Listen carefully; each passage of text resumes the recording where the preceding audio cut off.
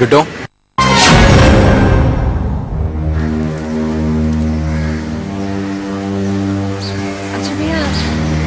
आप यहाँ? बिटो भी पुलिस को माल के एक्सीडेंट की तहकीकात कर रही और तुम तो जानती हो वहाँ हॉस्पिटल में कुणाल का कोई रिलेटिव बनकर पहुँच गया था। ऐसे हालात में तुम्हें कुणाल को लेकर अकेले यहाँ नहीं आना चाहिए। आ, वो भैया मुझे लगा कि शायद यहाँ पे कुणाल को कुछ याद आ जाए। मैं समझता हूँ गुड्डू। पर ऐसे हालात में हम कुणाल की ज़िंदगी का रिस्क नहीं ले सकते। अगर कल को कुछ इन्हें हो जाए तो हम खुद को कभी माफ़ नहीं कर पाएँगे। नहीं। इसमें इनकी कोई गलती नहीं। मैंने इनसे कहा था कि घर में मुझे कुछ घुटन सी महसूस हो रही है कहीं बाहर चलते हैं। और यहाँ आकर मुझे अच्छा लगा। हालाँकि इस जगह में पहली बार आया हूँ। लेकिन ऐसे लगा जैसे ये जगह कुछ जानी पहचानी सी। है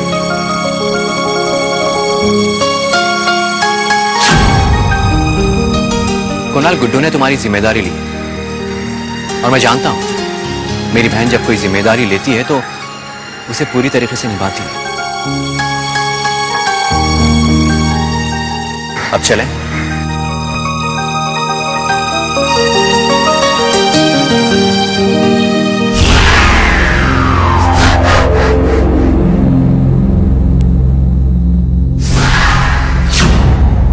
आज तो तुमने बचा लिया इसे अजय अग्रवाल। लेकिन देखता हूँ, कब तक करण को मौत के साय से तुम बचा पाते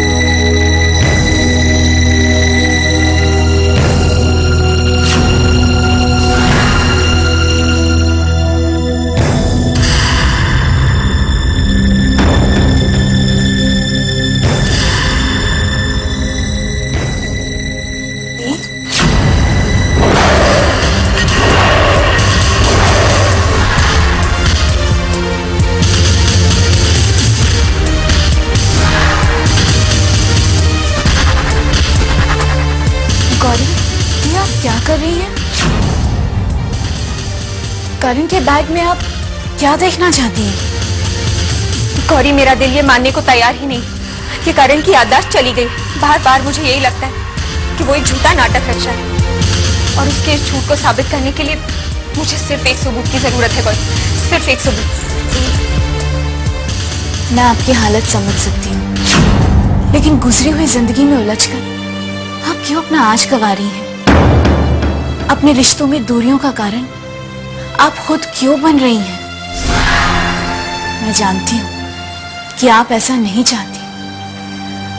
दीप, मैं सिर्फ़ ये कहना चाहती हूँ कि जो रास्ता पीछे छूट गया है, उस पर दोबारा चलने की कोशिश मत कीजिए।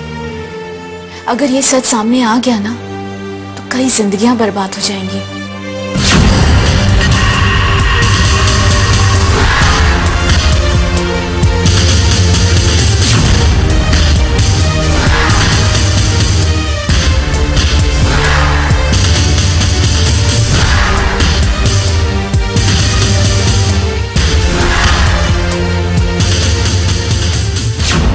यादव कुछ बताया?